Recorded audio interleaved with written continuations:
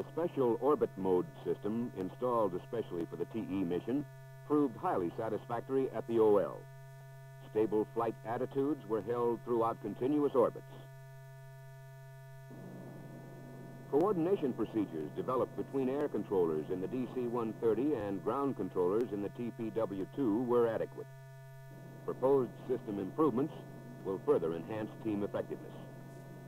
Restrictions on the operational route, however, did not permit complete evaluation of the control system's maximum range capability, 300 nautical miles. Mid-air retrieval results were outstanding, according to evaluation reports. As a follow-on to this prototype program, Teledyne Ryan has suggested several design improvements for an operational combat dawn system, which shall be called the 147TF Increased Endurance Configuration. These improvements are required to effect a more reliable vehicle and to improve the special equipment capability to better meet the user's requirements. Objectives of the TF shall be to increase drone endurance and to increase HARC frequency coverage. The TF shall be compatible with existing support systems, including the TPW-2 and the improved HARC. Primary external difference between the TE and the TF is the addition of fuel pods on the wings.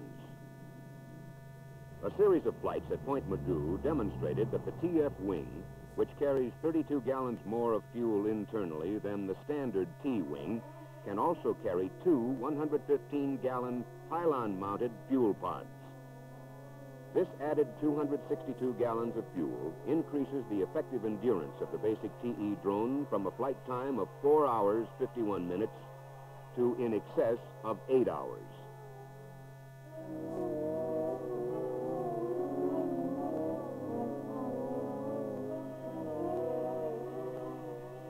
In addition to increased endurance, other improvements have been proposed for the operational TF system. Incorporation of a mission control center is considered essential to the realization of the potential of other improvements to the Combat Dawn system. The MCC would relieve congestion in the TPW-2 by combining its remote command control functions in a new console located inside the HARC van and provide capability to incorporate the additional improvement features. The TF offers these new capabilities extended glide range, complete backup of drone command functions through the uplink system, radio-commanded self-destruct of the encrypting device, emergency command through the uplink to the autopilot in the event of engine rundown. Also, the emergency return to base heading will be made more accurate through the use of the downlink heading which will itself be modified to slew automatically to the HARC band. Greater protection against interception or jamming of the MCGS signal, and an increase in antenna gain from 5 dB to 18 dB will be achieved by diplexing the signal into the downlink horn antenna. In addition, an improved HARC collection system is provided that will monitor more and different frequencies through interchangeability of receiver modules. This will expand uplink control from 4 to 44 channels. Encryption of the uplink commands will provide more system security. Downlink data is already encrypted. Modifications to the TPW-2 ground control system will increase effective range and angle track from 250 to 400 nautical miles. Teledyne Ryan is looking further to the future with the model 147TL, a version that will utilize the increased lifting and fuel carrying capabilities of a 180 square foot wing. Use of this wing, which will permit addition of 2,500 pounds of fuel, will enable 12-hour flight endurance, 11 hours above altitudes of 60,000 feet. Incorporating the improved HARC collection system, frequency coverage will be increased along with area coverage.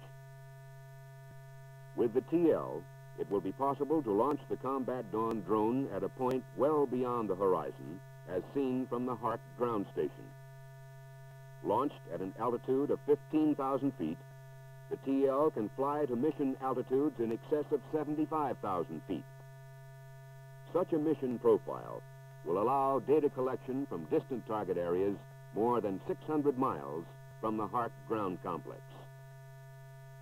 As frequency coverage requirements increase, additional payload volume can be obtained by stretching the TL fuselage a total of 53 inches. The nose will be extended 18 inches and the fuselage extended 35 inches for a volume increase of 10 cubic feet.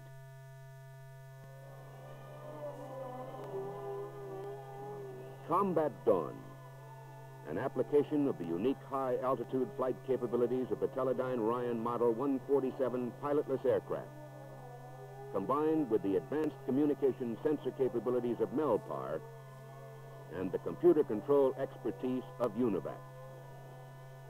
Combat Dawn, the optimal, low-risk, politically acceptable means of gathering vital intelligence from those nations that constitute a threat to the national security of the United States.